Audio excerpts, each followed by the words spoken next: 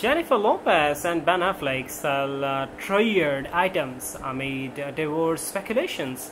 Ben Affleck and Jennifer Lopez, uh, who have been uh, the focus of divorce rumors for weeks, are apparently selling off uh, their tired things. The goods are uh, part of Ben and Jennifer's 60 million US dollars Los Angeles house, which they bought last year According to page 6, uh, they are selling some of their valued items, uh, particularly works of art. Uh, this this follows uh, reports that uh, Ben has been uh, tra transferring his possessions out of the house while continuing to reside in a Brentwood a rental near his ex Jennifer Garner.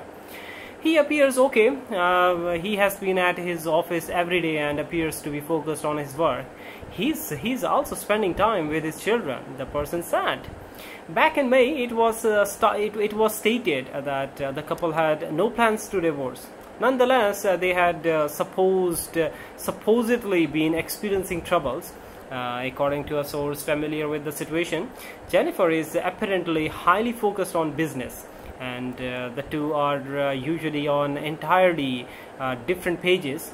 Uh, however, uh, neither Ben nor Jennifer have acknowledged the rumors as of yet.